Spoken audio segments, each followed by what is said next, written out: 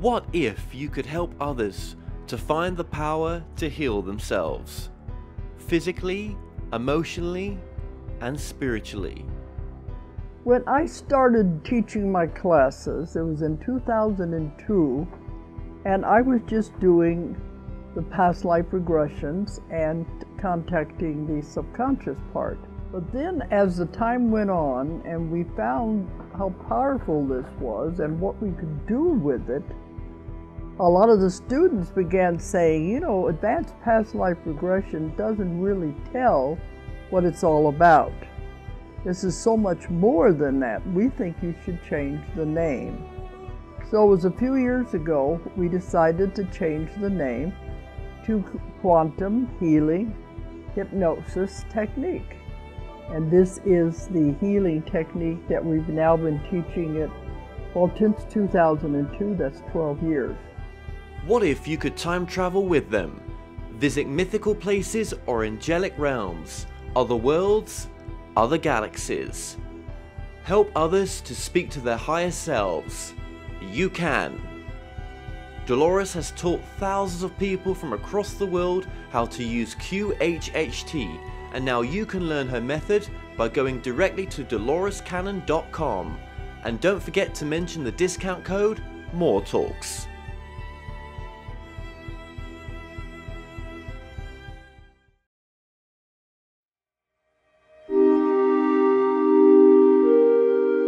Have you ever wondered can you communicate directly with spirit guides, teachers, or non physical consciousness, or even our higher selves? what would they tell us? My name is Kevin Moore, and since 2015, I started to practice a form of communication which is termed channeling. I have been interviewing experts on my talk show to find out does life continue after we die, and can we communicate with those that have crossed over? With each expert I spoke to, they all had different ideas. Is there knowledge from the past which could be shared with the present moment. So I thought, why not just speak to the non physical world directly through channelers around the world? And that's what I set out to do. They Call Us Channelers We'll take the viewers on a journey into the phenomena known as channeling. And my main goal with this docu-series is to bring a new understanding and awareness to channeling by looking within ourselves and asking, is it truly possible that we can all use this innate ability?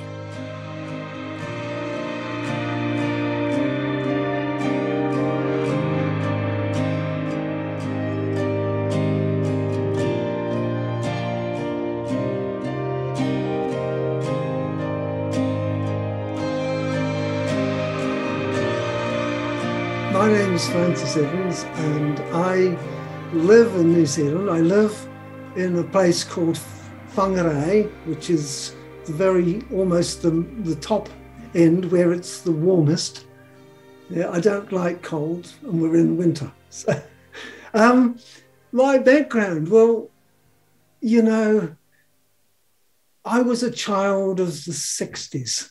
So I was originally you know, a flower, one of the, the first of the flower children in, in New Zealand and and it was a you know I we we were just you know following the rest of the world, trying to be hip and uh, and loving and and all that stuff. And one Sunday afternoon, after a sort of heavy weekend, we were hanging out with a few friends, and they well, we were bored.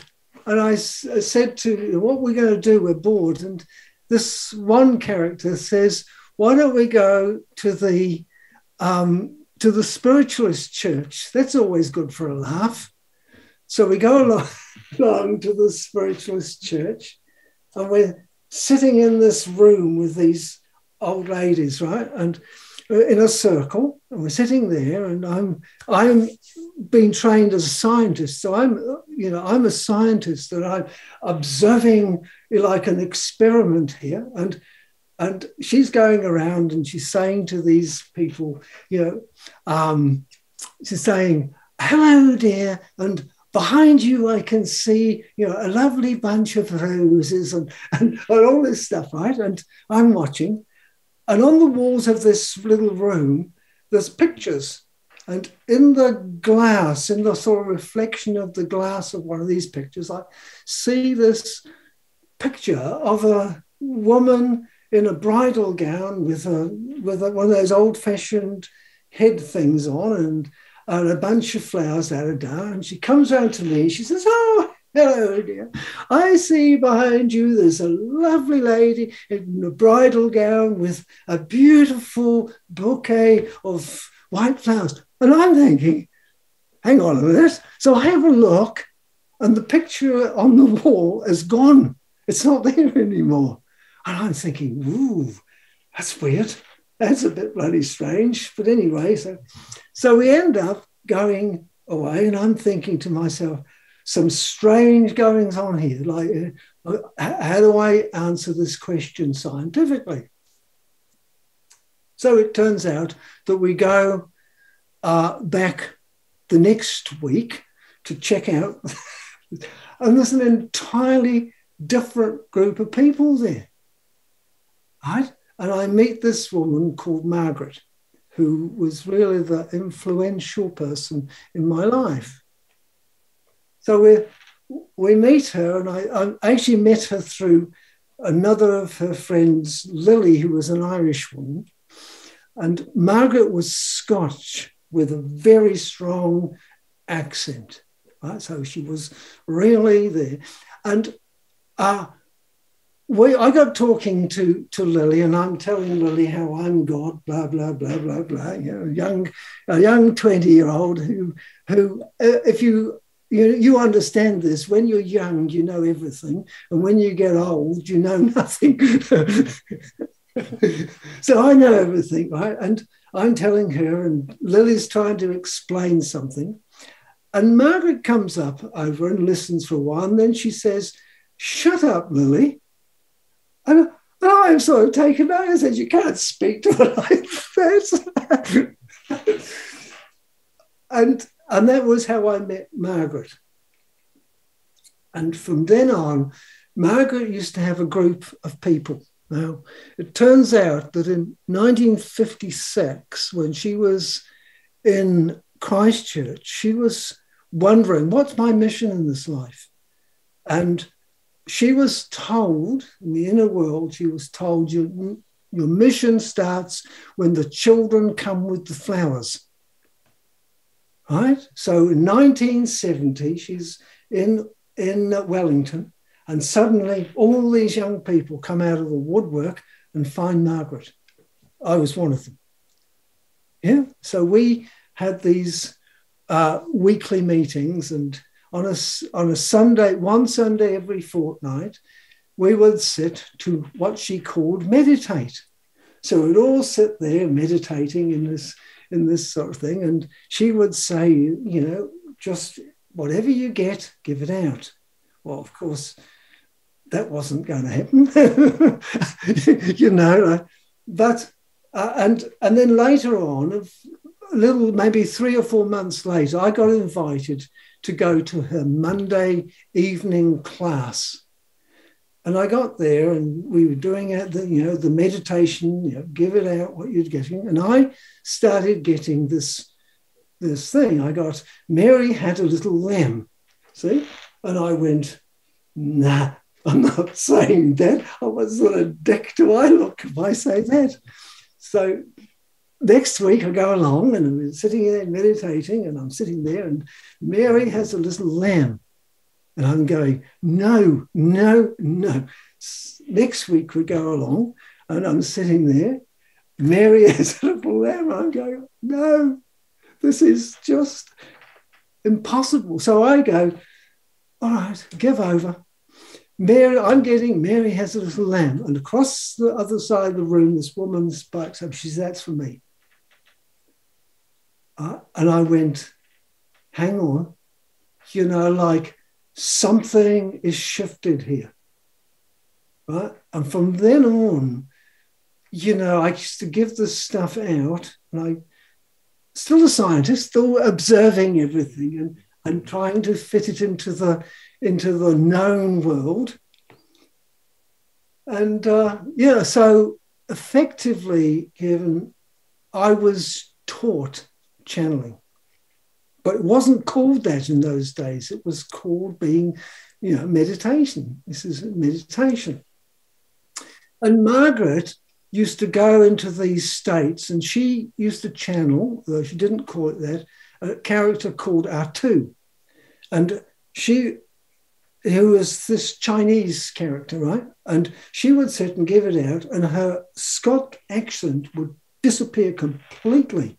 And she would start speaking in this sort of broken Englishy Chinese sounding thing, and her whole body would change. It's like she'd shrink in her seat.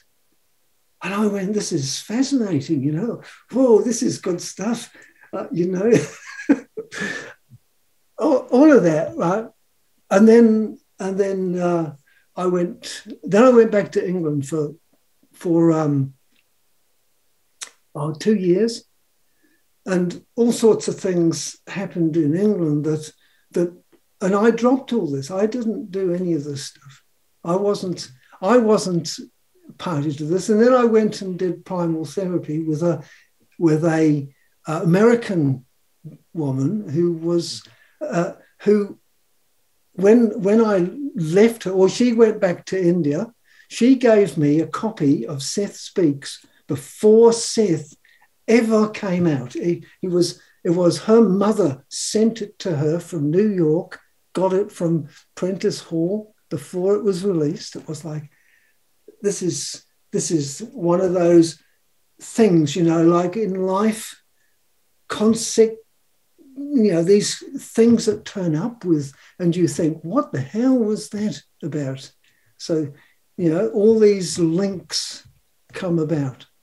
So I came back to, to New Zealand and, uh, and I started a Seth group, would you believe? Right? I said, got this Seth group going.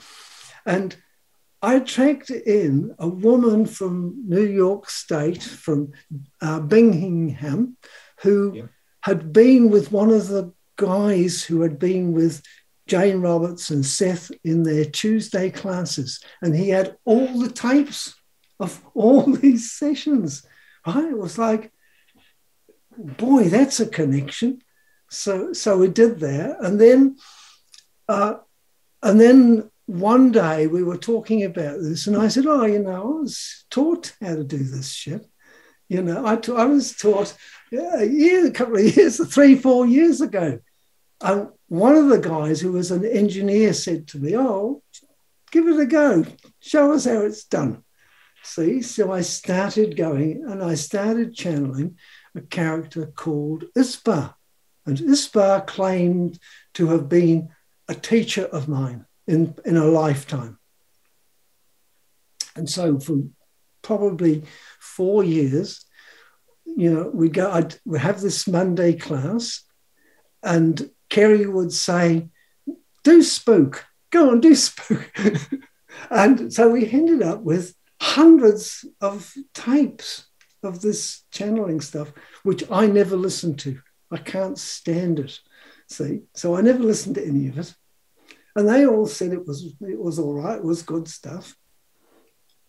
Um, and at the same time, I started training in hypnotherapy, and during the period of doing hypnotherapy, I learned how to take myself into very deep trances, like I could go into a really deep state. And so putting the two together, this started to make transformations. And round about 1992, Mercredan came through and he claimed to be nothing. We, you know, people would say, you know, who are you? He'd say nothing say, what do you mean nothing? I mean, I mean, what the hell does that mean? Uh, and he'd say nothing. Right? So it took a while to get to understanding when he meant nothing. It's like when you go into this state you give it up. Yeah. So I, I know that that's that's sort of like the bones of my background. I can only imagine how fascinating those Seth tapes must have been back in the day. Um, and they, they were extraordinary, you know, because you you got to hear both Seth and Seth too. Oh, Seth too, yes, right. And I always went, you know, where, what did Seth too say? He always said, "I don't come from anywhere." And I went, "Is is this the same thing? Is this this nowhere business? You know, this nothing." Seth 2 was like a more advanced version, and I'm using really basic words here to describe what Seth 2 was, but it was something greater than obviously Seth. Um, God, those tapes would be collector's items right now, I think. they would be, yeah. Oh, gosh. Yeah, so we've all got a journey. There's something uh, that influenced us along the journey. Seth was uh, something that I got into as well. Actually, I think the, the original Seth house, where all the channeling took place, is now a museum. I believe it is. So yeah, yeah, possibly. I mean, I we I wrote. I was talking to to Robert Butts when Jane was started getting sick. We invited him to come to bring her to New Zealand because New Zealand has a quality about it that is sort of different from most places in the world. Interesting yeah, and that was probably so close to them coming over, but it just wasn't supposed to be. And yeah. with Mary as well, I'm you know I'm I'm sure you honor her for what she did for you uh, to take you into that. I'm sure that we've all got one teacher that really helped us, yeah. but, and that believed in us as well to just push us over that edge. Yeah. Because how did you get past the public fear of channeling then? Because that's, I guess, a common thing for people. Oh, hugely difficult hugely difficult. I mean, I was living, a, uh, you know, two worlds. I was going to work as a scientist and doing this shit on the, on the other side, you know, like I was, and it was not public as such. It was in the beginning just in a, in a sort of closed group.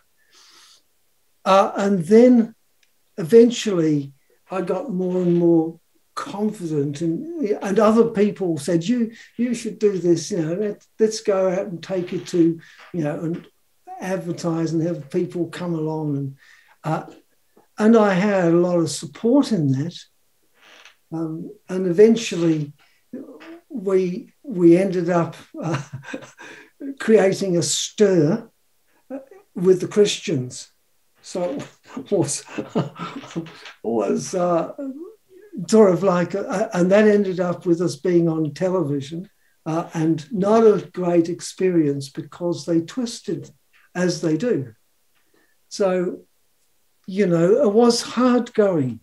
Uh, and then at a certain point, uh, you know, I just went, you know, you, at some point you have to accept yourself and what you are.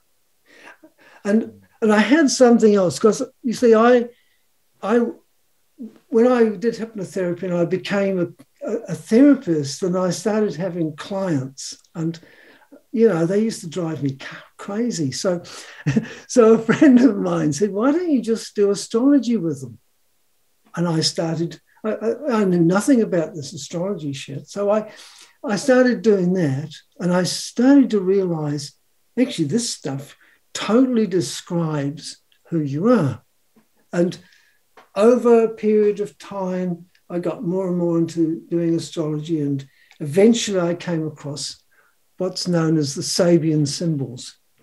And the Sabian symbols themselves were channeled back in 1930s. Right? And if you know anything about astrology, the midheaven where, is where you're going. This is where your purpose lies. And the symbol for my purpose is and the, the key word for it is channeling.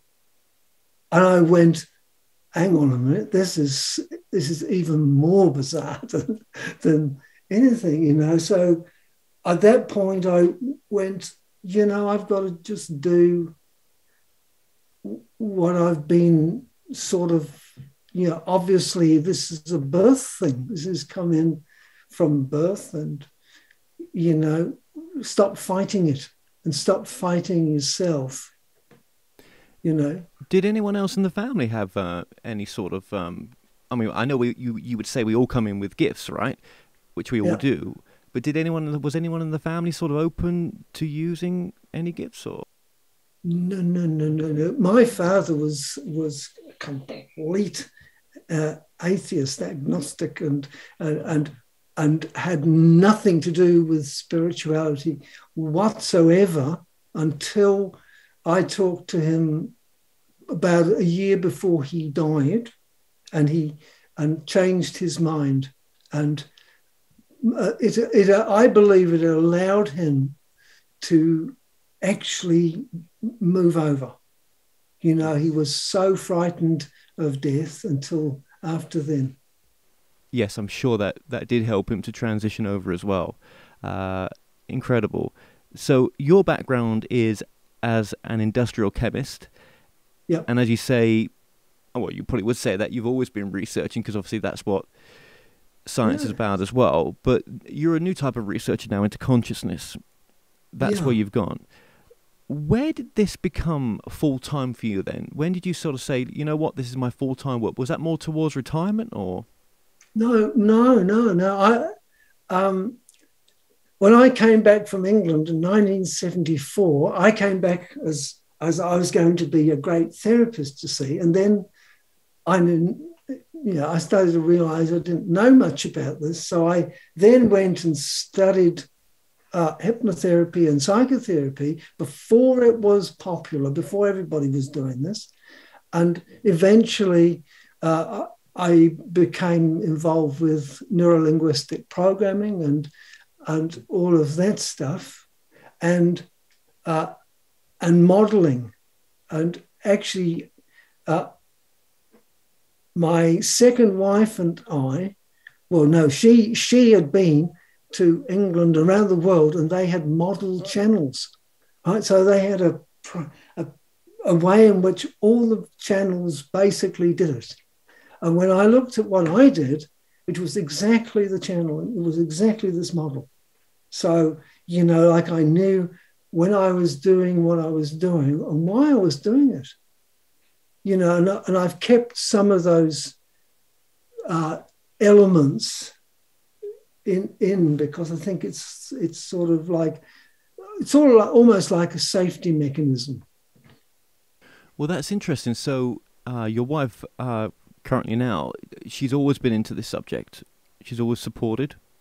Yeah, yeah. We've always, yeah, and of course, Libby is my daughter-in-law, and you know, my my my personal family have all had channeling sessions. So they've all seen it firsthand. Oh, no, maybe not the eldest, but the other two at least. So something interesting about yourself as well. I was watching um, an interview that you did, and you talk about the name um, and that it's just really a, of a way for you to communicate uh, as the, we communicate with email. So the name is just like an email address, and I thought that was a fascinating way that you put that. Mercredan, uh, and and what he says is is it's just a name. It's just like he says this is just like an email address. It's like you know, so you know where, who you're talking to and and he says that it, it just means a teacher of mercy.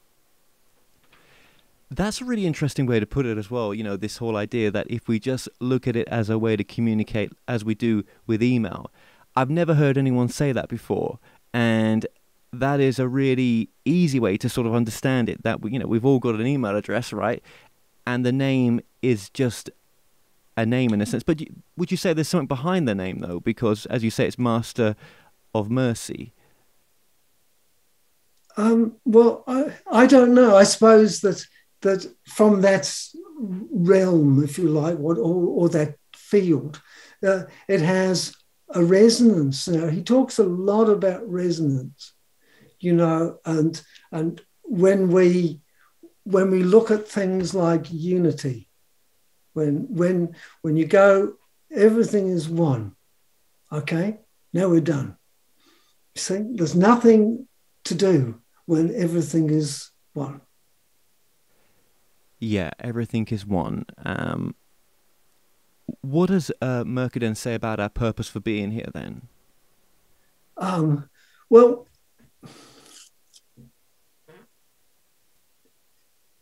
I, this is I, I I sort of you know from from me what I've gained from it I think is this is the evolution of consciousness. It's like it's like we we came down by by he talks about two paths, you know, the path of differentiation and the path of integration. This is the fundamentals of, of mathematics. See, so so from the one differentiation all the way down till you get to the point where you can't differentiate anymore, you know, because you've arrived at a at a turning point, and then you begin integration, and we're on, in the process of integrating. You know, so so if you like, this Zoom call is a great integration of all the consciousnesses alive on planet Earth at this point. Every one of us could join and talk to anyone else. First time in history that this has been available. Yes, and you would probably say that your scientific background actually served you with some of the information that you were able to bring through, because I'm guessing there's a resonance of deeper sort of scientific information that you're able to sort of understand. Well, I mean, yeah. Mm-hmm. And I have channeled for people who are way outside of my abilities to understand this stuff, you know. So they get this stuff, and I go, "What the hell was that about?" But I don't see Kevin, I don't remember anything. You see, you know, like I go into this space, it's a giving over. And when I come back, uh, I've got someone on the other end of whatever it is, or a group or whatever, uh, and they're all doing what they're doing. And I'm thinking, I wonder what has been said. you know, it's it's and that's a a sort of strange thing as well, you know, that you have to get used to not needing to know. Yes, because there's a lot of uh, conscious channelers that I've interviewed, not so many deep trance channelers like yourself. Have you thought about why that is? That there's a sort of um, there's less and less sort of deep trance channelers, there's more conscious channelers. I I'd love to do that, but I think it's because you know, I, I probably would have uh, a difficulty not interfering. Do you know, like when you know when there's something coming out, you know, like I was taught very early on, is to to instill or, have an intention that if there's something that is being said that is not true, stop. I, and it's come up a few times in in early sessions for particularly where I'd be going along and then suddenly I'd say, stop, you know, like ignore those last comments. They are not real, they're not true. Yes, because how do people discern? Uh, that's always been a question of mine when people start to want to channel for themselves as well. Yeah, you you have to be uh, I think you have to be really skeptical. I was for for most of this experience, I have been totally skeptical. I, you know, I, I don't have any answers for where this is coming from. You know, so up until quite recently, up and really to, until Libby said to me, "Look, I want to, I want to be involved in this." Did I actually think? hey, you know, I'm not, I'm not really, um, I'm not really crazy. yeah, yeah, because it's been quite a solo journey. Yeah, yeah, and I think for a lot of people, take you know, starting up, it is a solo journey. And, you know, like you, you can have a lot of confidence to do something, but it doesn't make it right, doesn't make it, you know. So where is the where is the distance from, you know, from you to it?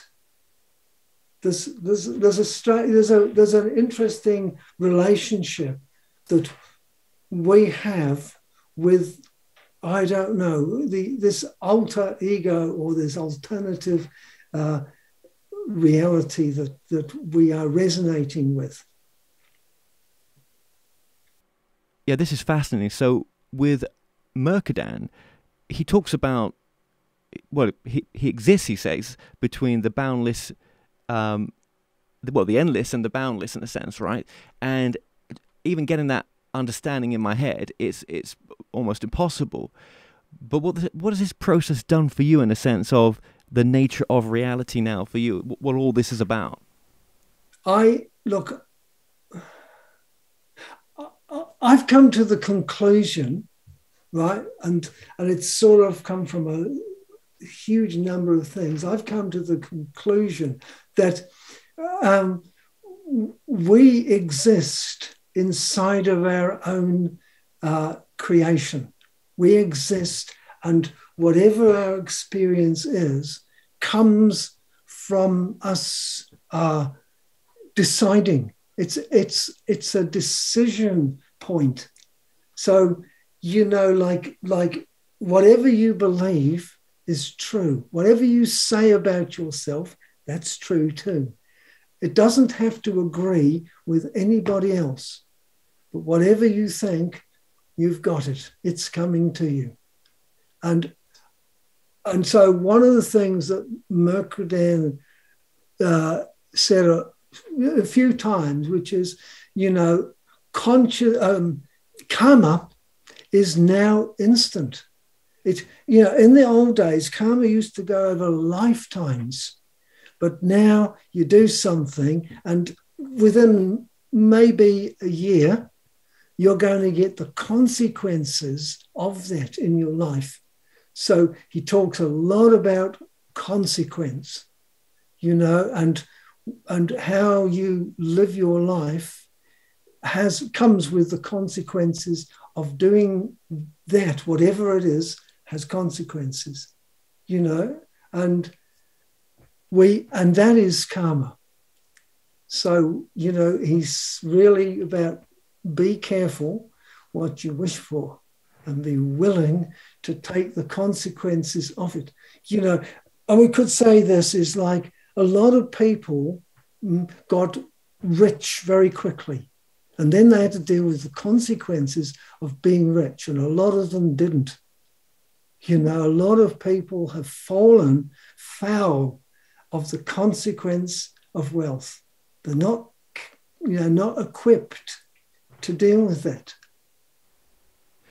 Absolutely. And that idea of producing or creating your own reality, I'm, I'm starting to see it. I'm starting to get it right that yeah, it's, um, it's not instantaneous always, but if it's what you truly desire and if it's and if it's what you uh, are, going to go out there to uh, uh, pull towards you it's going to happen maybe not in the exact uh, un, you know outline that you thought it was going to be, but it's, it's something near or what's best for you is going to come in and that. And we've all experienced that, haven't we, in so many ways? Exactly, exactly. You know, and and we think, look, I, I think this is th- the the point about unification or integration or or oneness is we individually do not manifest our world separate from the manifestation of, of the, uh, the field that you are living in. So for me, there's a lot about, he talked recently, he started talking more and more about nested fields, how, how the great, the greatest field that you can perceive of is called the cosmic. Yeah. And within the cosmic field, there are myriads of galactic fields. And within our galactic field, there are millions of solar fields. And within our solar field, there are these all these different planetary fields. And we live with what he calls the planetary guardian. And the planetary guardian maintains the world as, as a environmental structure. So human beings think that they are going to affect the planet. They're mad. He says the planetary guardian is shaking off the humans as if they're fleas on a dog's back. Right? So he says, don't think that you are going to affect the planet. The planet is going to survive it. And it's going to, you know, and this is about the elevation of consciousness. It's it is human beings beginning to evolve consciousness, not because of choice, but because of necessity, because we don't are not a very clever animal. No, no. Well, I mean, Mercredan in the past, probably decades ago, probably uh, spoke with you about the coming changes that we're now experiencing. This has all been predicted yeah. in your in your in your words and your teachings. Yeah, yeah, and I think this is sort of like everyone could see it. You know, going back for a very very long time you know, we have been moving, you know, and gaining uh, momentum. You know, the, the shift in consciousness is r- rapid.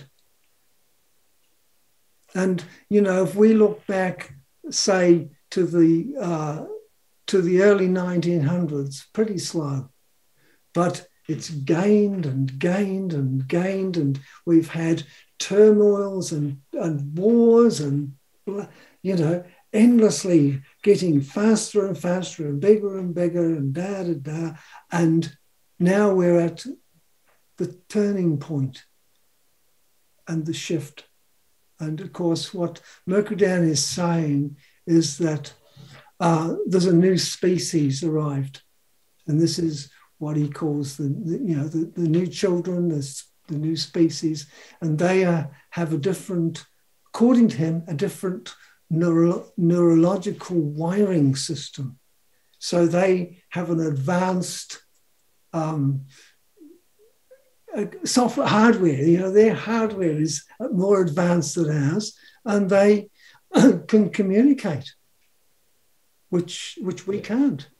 So almost like a a point, as you say, in uh, human evolution, and we barely understand the brain, and maybe there's some part of their brains which is uh, active, right, um, and uh, which we don't use as much, maybe. I I think what he's saying is that we are focused on the brain rather than the whole being is a light ball of of neurological, uh, you know, things that are resonating just as if you know just as if a uh, electrical field is pulsating you know and if you if if it's not in the brain let us assume that it's for a moment it's just the the neurology of your of the nerves in your skin right? That every time you touch you know that you're in contact with somebody you are you somehow pick up their whole being and you can read it. Yeah, because if you just focus on the brain, maybe you maybe you have shut down the the the software that does the reading. You know, so we yeah, I think that's more of what he's saying. While we're at this midpoint as well, let's just remind the audience of your website. It is um, channellingmercredan.com. And people can book on there for uh, readings or group yeah. readings, private readings, obviously. Yeah, yeah, and yeah, mostly we do them through Zoom.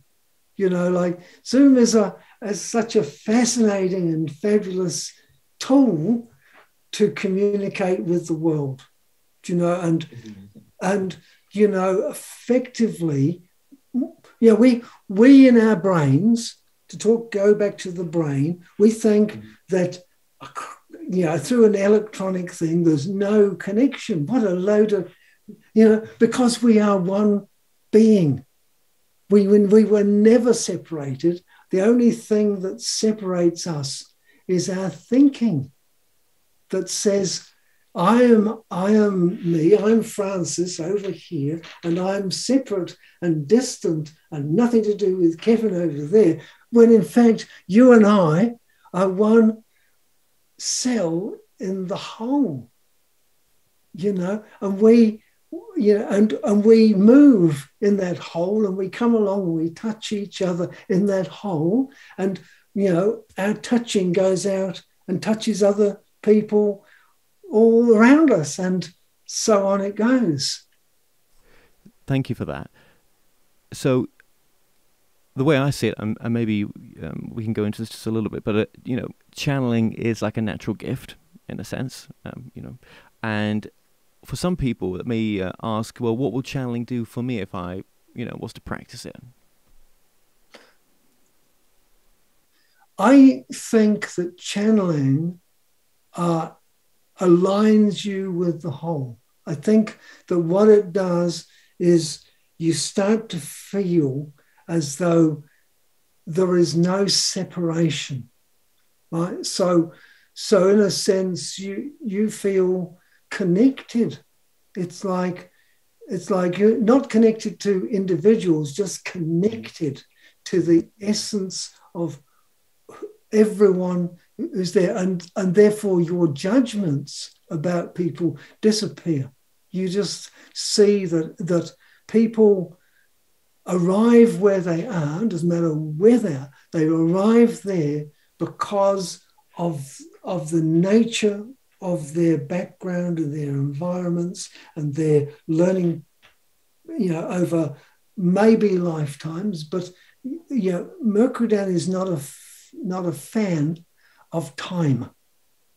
So he so as a not a fan of time, he's not a fan of past lives which require time.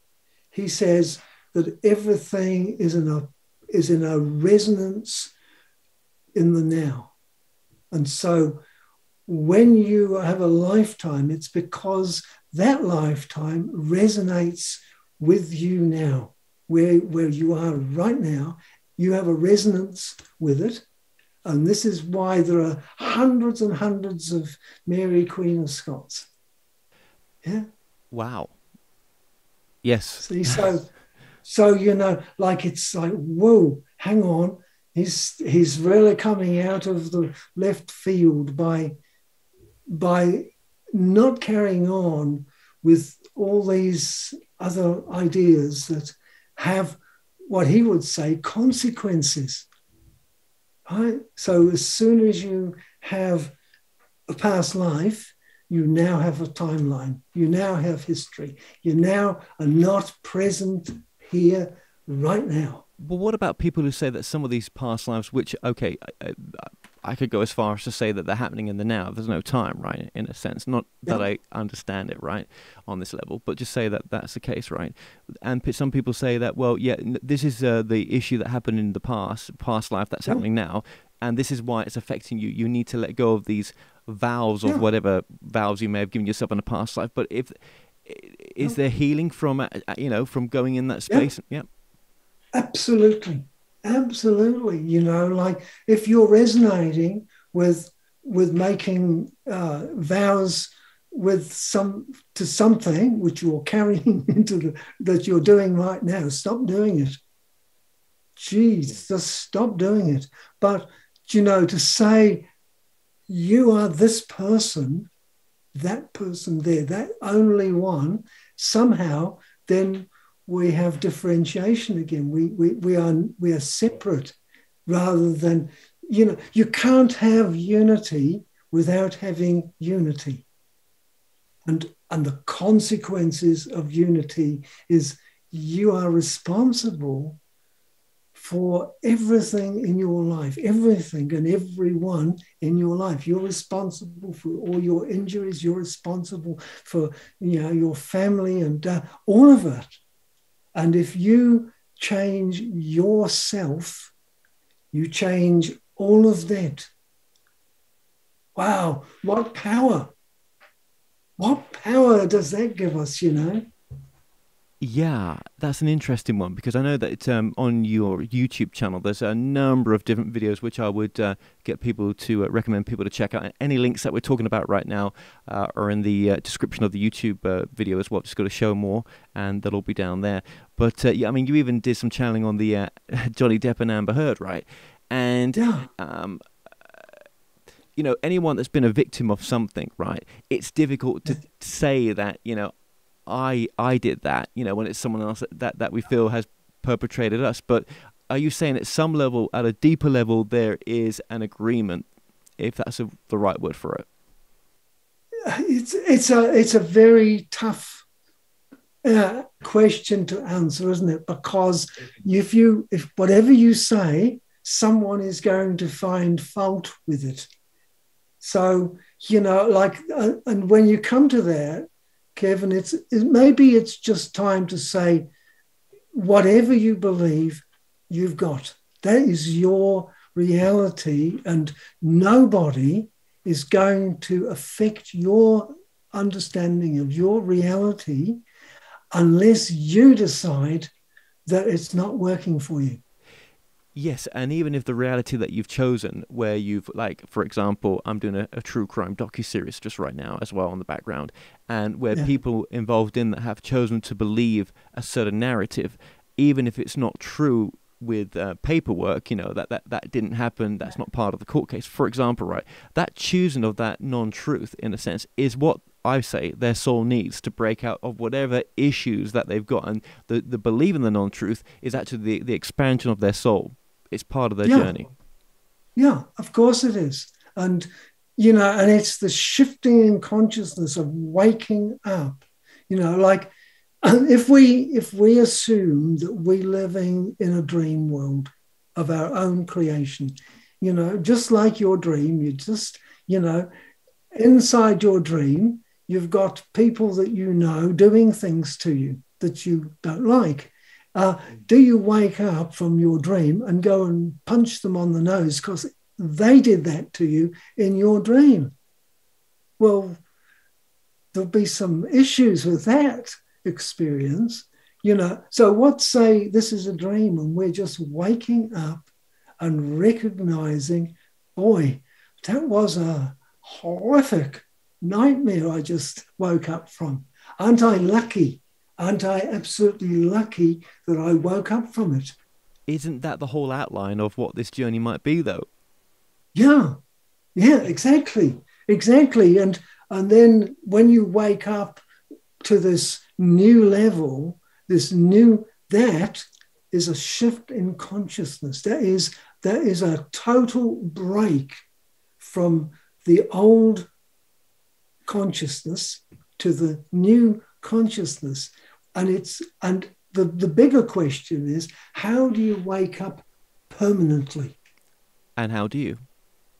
Ah, well, that is that is a question I, I, I have I personally have yet to answer.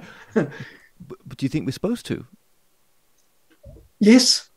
Oh, absolutely. Is the wake up death, in a sense? That's or is that another level of wake up that isn't well yeah look i'm almost saying that uh, and i'm not not saying here that you know we need to die to be able to you know to understand the full nature of reality. We're supposed to be here.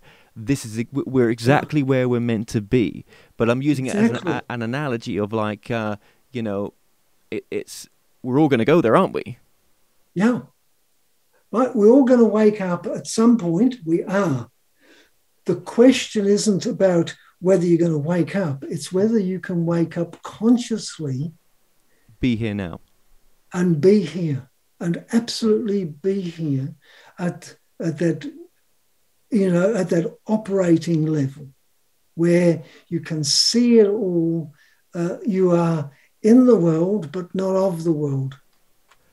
Well, for those who thank you for that. For those who may be interested in, you know, learning to channel in a sense, is there a difference between or what is the difference maybe between just channeling your soul or your higher self compared to channeling guides or you know Mercredan uh, as you do is it just as wise and just as helpful to the individual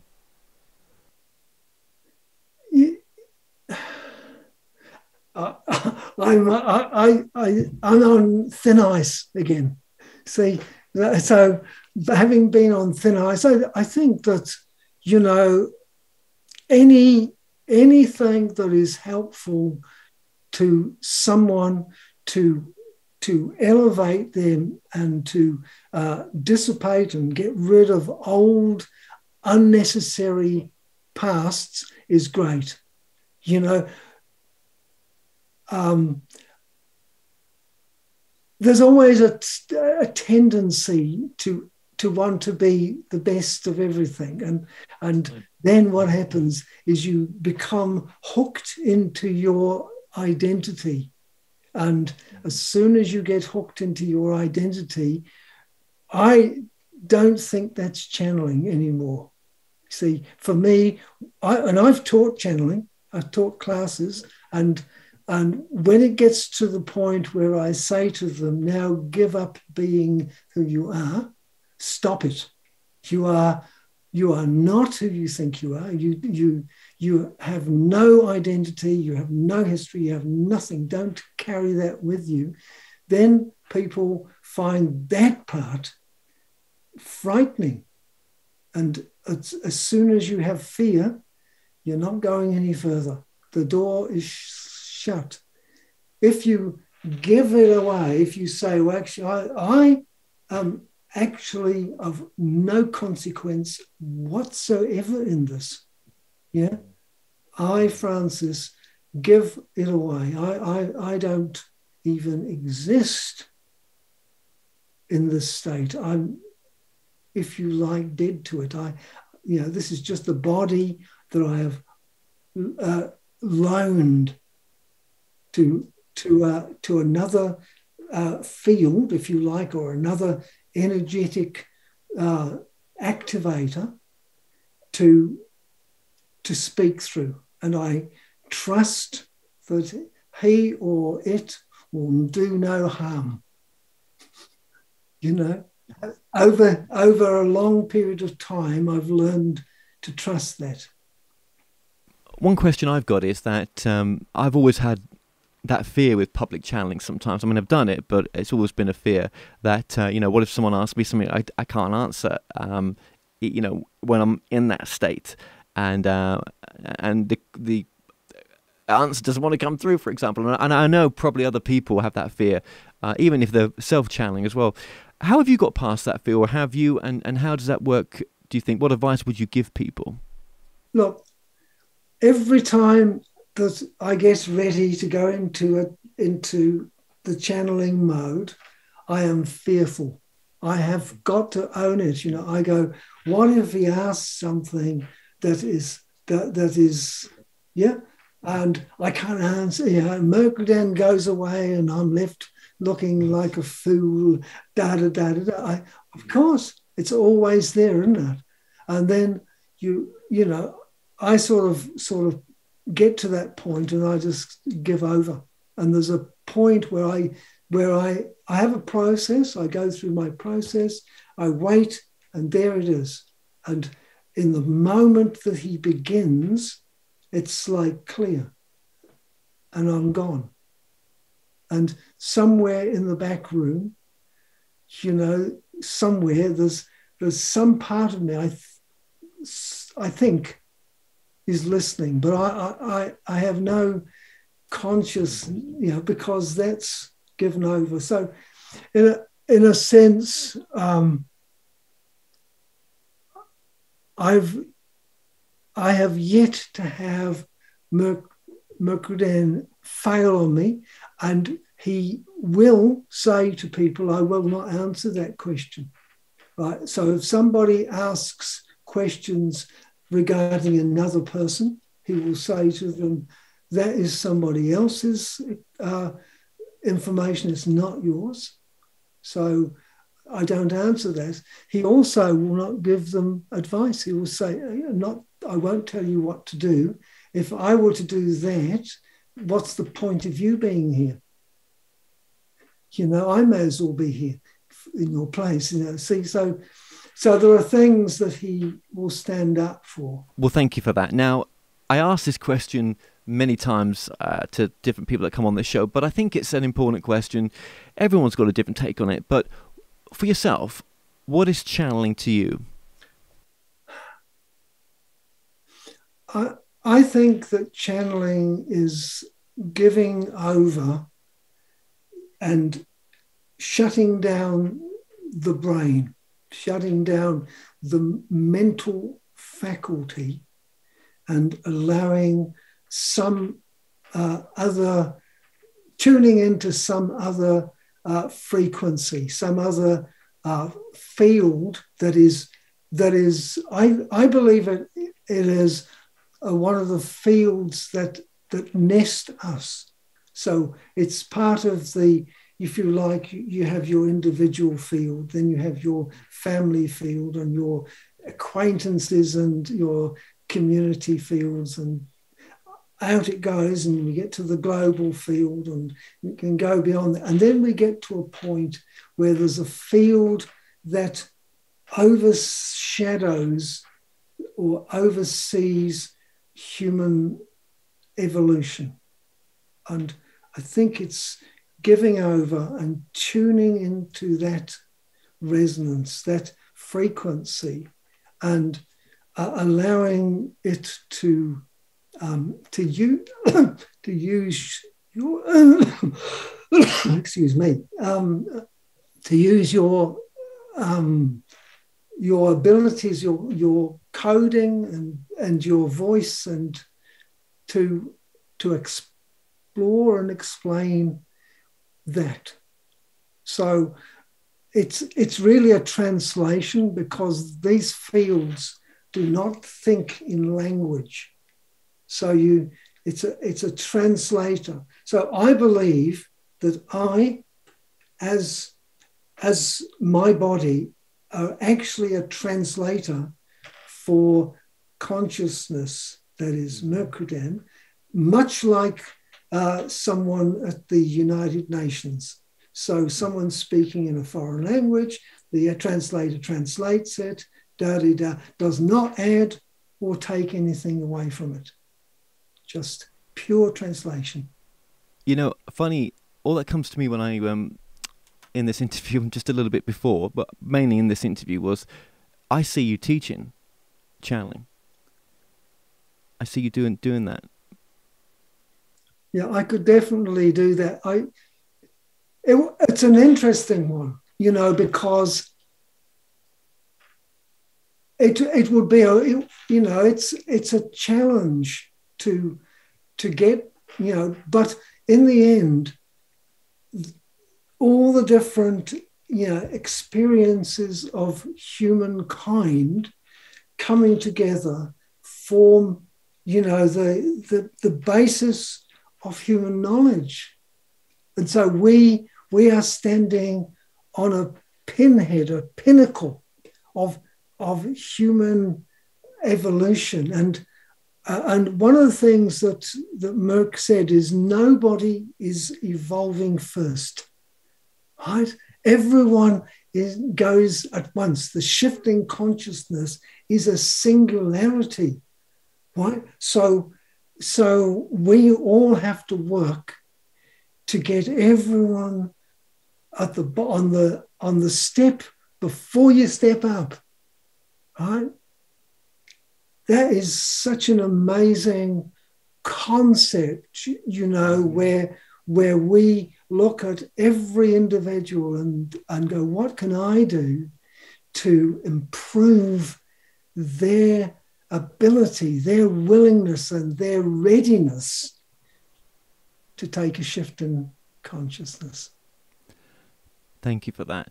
Now, I don't know how easy it is for you to um, zone into, you know, to sort of walk through that door in a sense, yeah, and uh, and channel.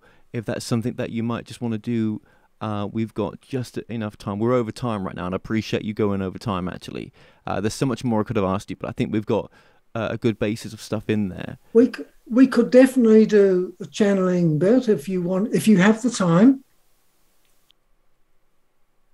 Oh yes, yes, yes, yeah, yeah, yeah. I've got the time. Yeah, yeah, yeah.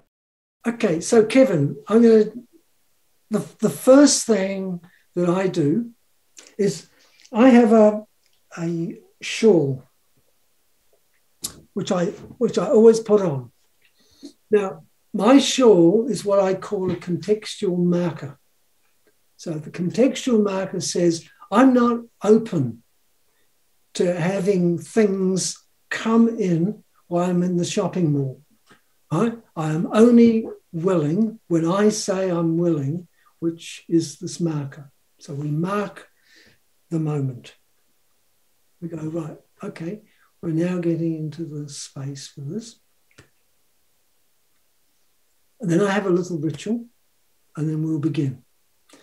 When when I begin, what Mercredan will do is he'll give a very short um, introduction, and then he will say, Let's begin a conversation.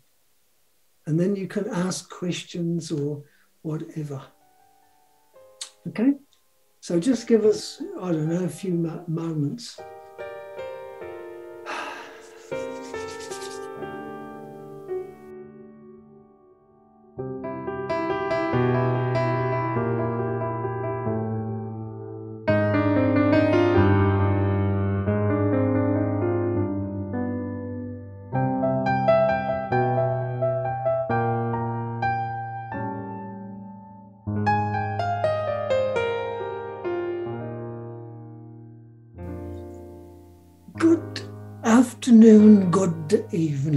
Once again, it is my privilege and pleasure to come and spend these few moments of your time. Mm. Humanity lives mm, in interesting times. Mm. I want to say, in essence, the entire cosmos lives in such times. The entire cosmos is the creation mm, of all consciousness. Mm, mm, whatever framework it belongs in.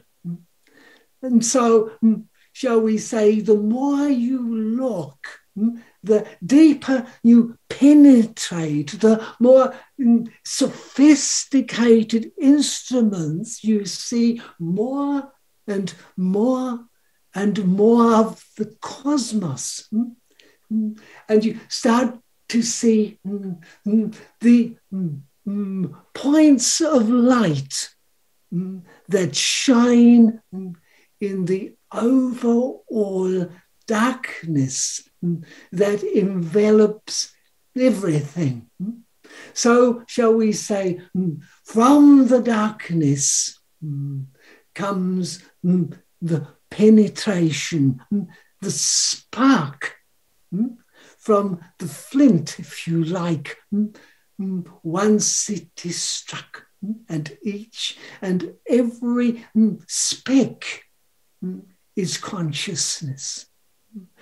So every individual is a spark struck in the endlessness that is consciousness. That is enough to begin a conversation. So you have a question that you would like to put forward.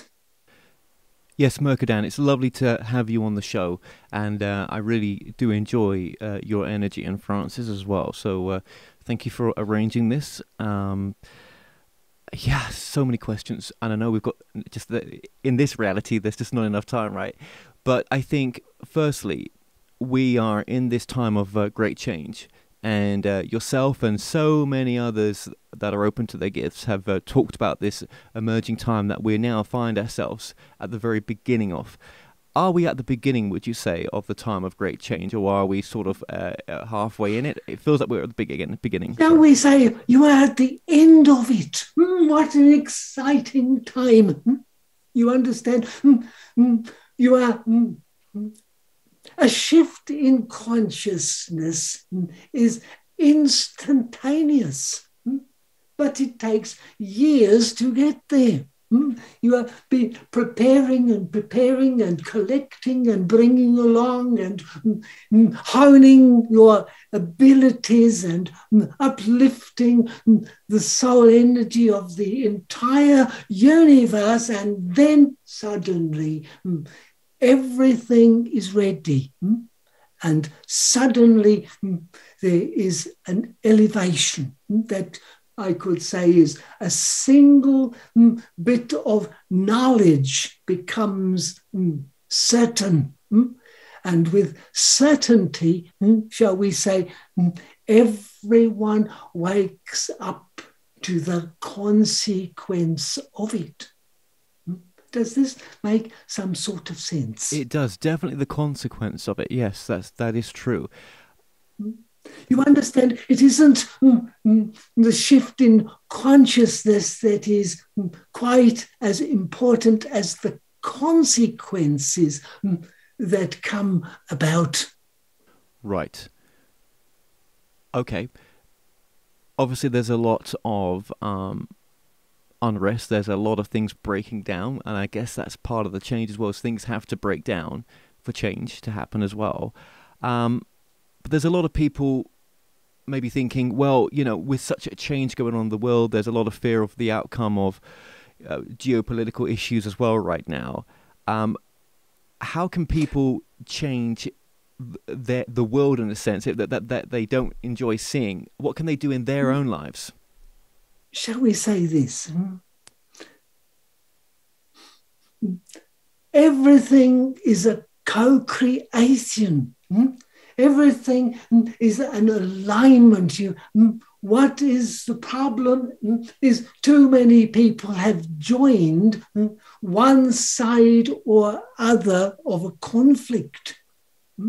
And of course, if you join one side of a conflict, then of course the other side has to be in balance. So look at the world. It is out of alignment, out of balance. It is one side. I am the, in the right and you are in the wrong, rather than recognizing my decisions, my thoughts, my identity is aligned with one outcome only mm, to win. Mm. And mm, if I am to win, then those that I judge as being in the wrong must lose. And I will fight, fight, fight, and fight and fight.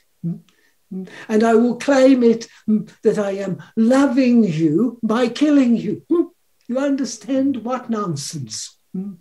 So, hmm, if you want to change yourself, hmm, then hmm, change yourself.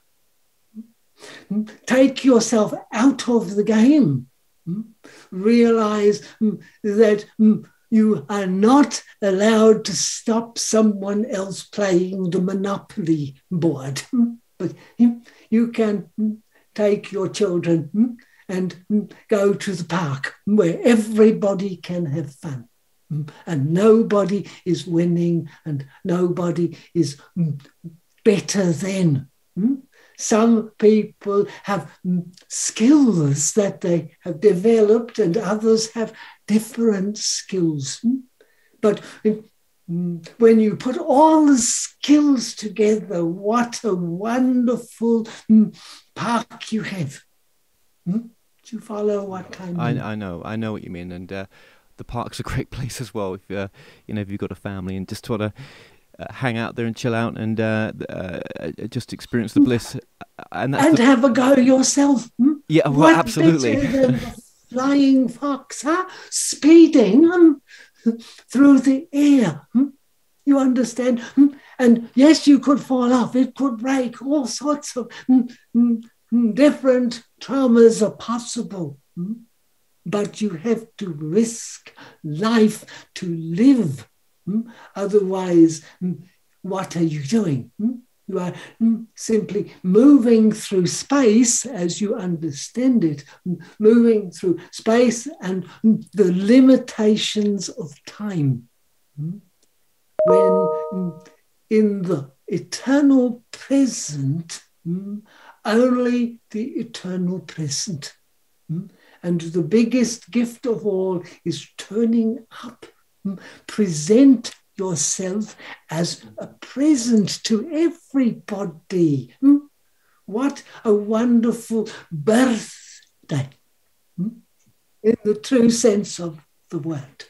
Absolutely. And what you're saying there on the sort of, you know, macro and uh, on the larger scale as well, but on the smaller scale of coming from that space of um, yes, not being uh, uh, judging or um, you know I'm right, you're wrong. But that you know, and and that could be just in the family, that could be in a relationship, that could be with work, that could be on a global you know global footing as well especially with the conflicts taking place right now so i get what you're saying there but to come from that space right of maybe just holding even people accountable and not judging even to come from that space takes a spiritual awakening to see it from a different perspective the, the more karmic perspective of why things happen as they happen though of course. Hmm?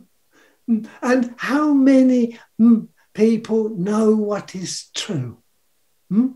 You are hmm, just listening hmm, to opinions and lots of twisted footage of movies that you have no way of identifying anything. So you are fed all sorts of nonsense. Hmm? You are not told hmm, the entirety. Of course, it is what is called hmm, hmm secret information. It is, hmm, hmm, it is, shall we say, sensitive. It is corporate. Do you understand? Nobody is told everything. And so you are living your life based on what? But if you live your life based on your experience, what is happening inside of yourself, what can I transform in myself so I feel better. I am mm, experiencing and I am mm, Mm, Mm, expressing mm, mm, the best person I can possibly be. Mm, mm, and I am giving my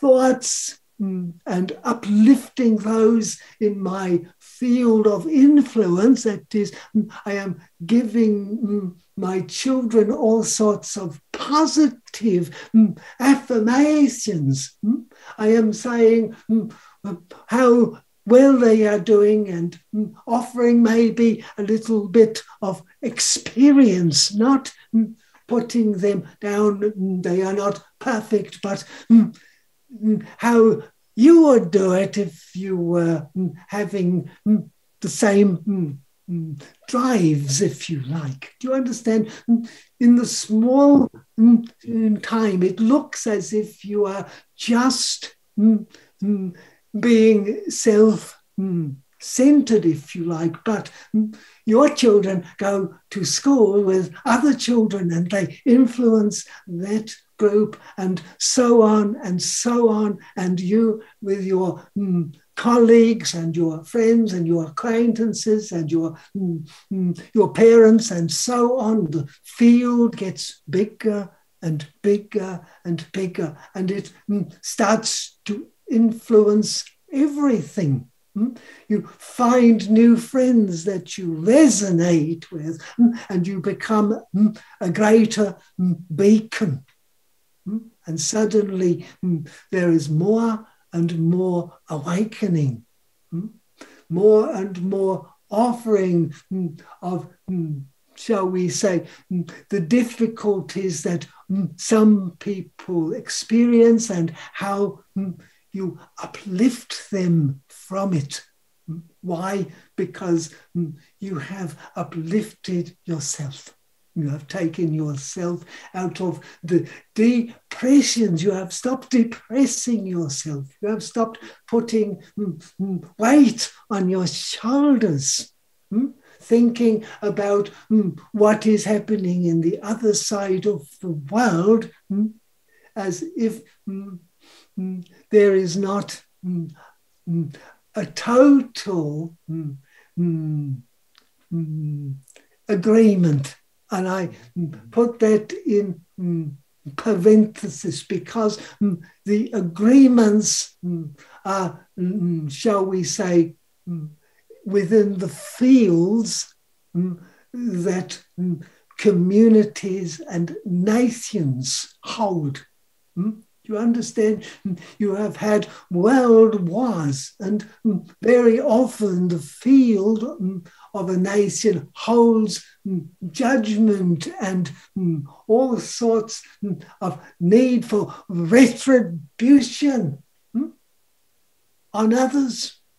And so uh, on it goes, and you mm, have mm, other interests, and you mm, think, mm, my job is to look after my interests. Mm. You understand? And so mm, the world is looking after its national interests, its trading interests, and separation and separation and separation, and on it goes until there is a true understanding of unification, of integration coming together mm, to, mm, mm, shall we say, bring humans to a higher level of understanding. And shall we say, your climate crisis is one such thing. Of course, you cannot solve it individually, nor as nations, and so on there has to be agreements, and unfortunately, mm, everyone has to give away the old patterns. Mm, the planet, the planet guardian will mm, survive. The planet guardian will bring humanity to its knees. So, shall we say, the best that any single person can do in this moment of history, shall we say, is to align themselves with the planetary guardian. Hmm? Hmm? And hmm, shall we talk about channeling the planetary guardian? What does the planetary guardian wish for me to do? What can mm, I do for you? Mm? How can I serve mm, the planetary guardian? Because I am a king, and because I am a king, I am a servant to the whole.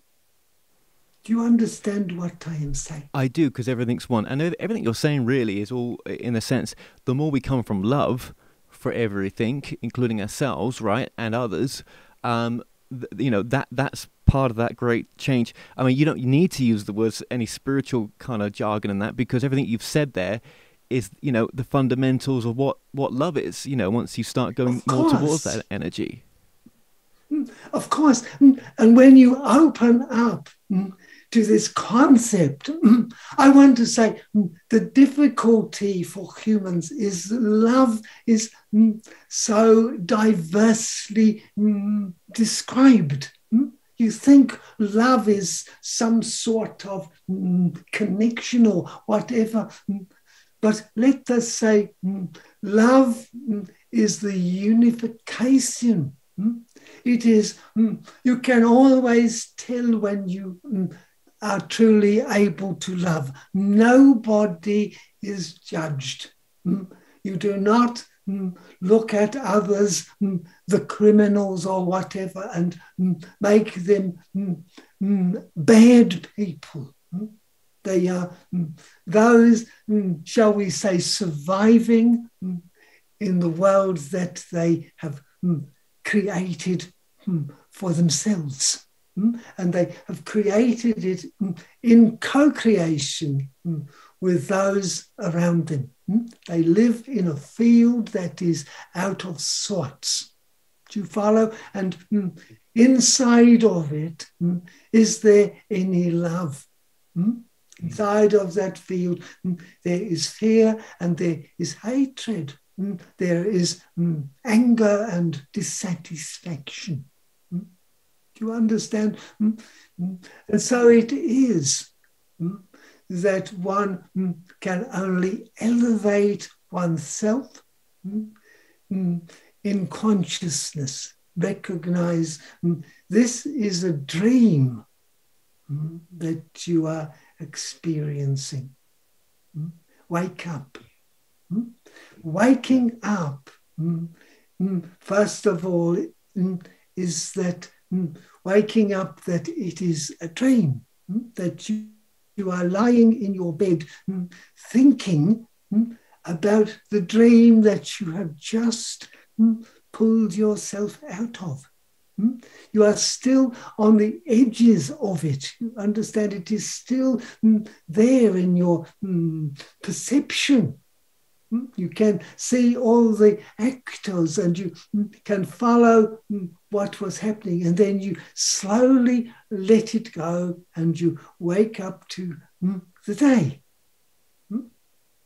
And maybe you remember, I had a dream.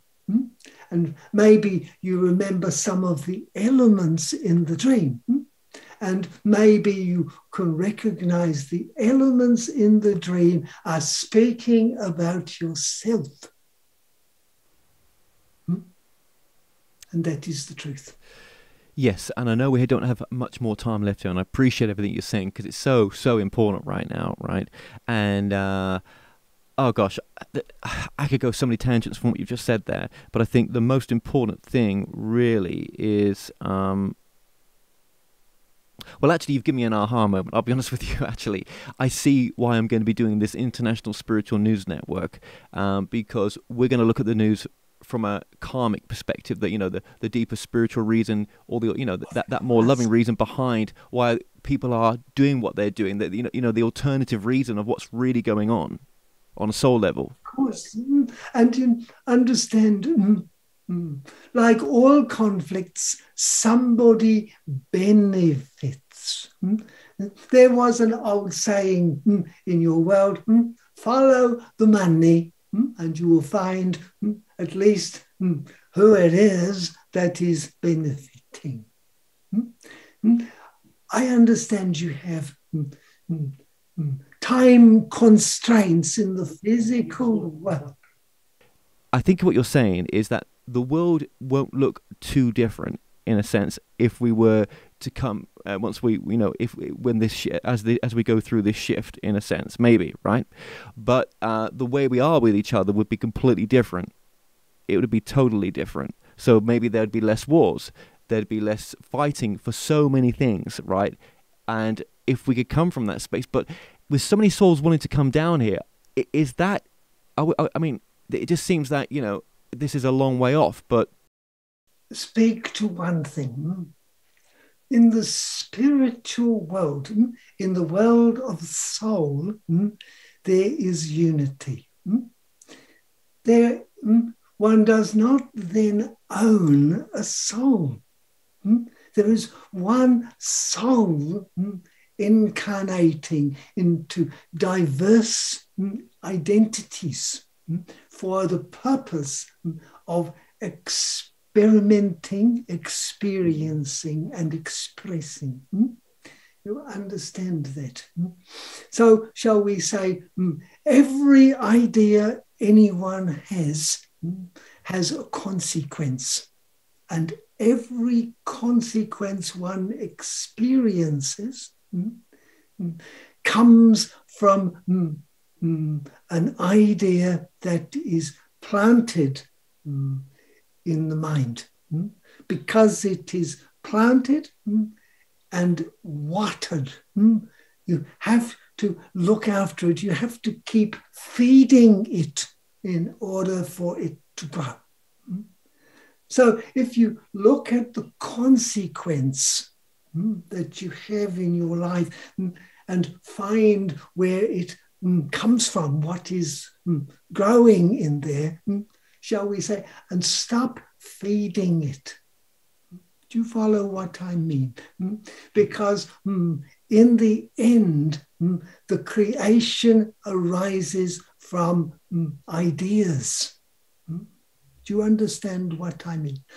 If you look at this, many people across the planet hmm, have, hmm, shall we say, hmm, what you would call epiphany moments when they when they read an idea that resonates with them, they think they are have created something new, as if it is their creation. But in reality, it was already existing, hmm, waiting to be read hmm, in the conscious field hmm, that contains all things.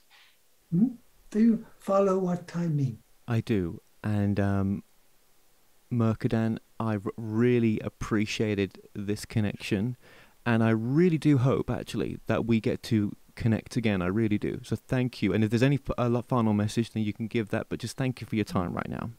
I also want to say thank you for your time, for your work in consciousness, because every time mm, you mm, uplift and you bring to mm, those that see and watch you, then you shift Mm, so many myriad mm, of fields of activity. Mm, so, once again, Thank you and good evening.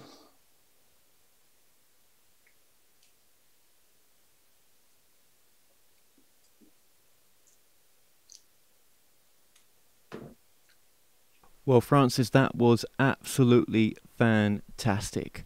Um, I'm going to say that I so enjoyed that, and I don't like to say, you know, oh, that you know that was that's one of my favorites, but it, it's definitely up there in my tops. Um, very powerful. Well, thank you, thank you for your time and and for the ability to talk to the audience and. Uh, yeah, yeah. people are going to enjoy this. I really. Uh, that was a few aha moments there. Let me just say that. which I wasn't expecting. You never quite know. Do you know what I mean? Uh, I, yeah, yeah, in the moment. Um, and uh, no, that was really, really good. Um, so just thank you for that, and I hope you get to watch it back as well. So your website, one last time, Francis, is. Um, channellingmercredan.com, two L's in the channeling. Yeah, we we are we are British. Yeah, because the way I've got it spelled is C H A N N E L I N G. That's right. It's American. Yeah. the American. Yeah. Yes. Yeah. Yeah. um, okay. Well, look. Until we meet nice. again. Yeah. Nice to, to talk with you, Kevin. Thank you for your time. And I do hope we will talk again. Yes. I think we're going to have to. Uh, that was uh, so good. So uh, just thank you so, so much for joining us today. Thank you.